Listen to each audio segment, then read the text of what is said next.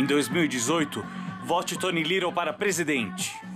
Tony Little para presidente. Muito em breve num YouTube perto de você.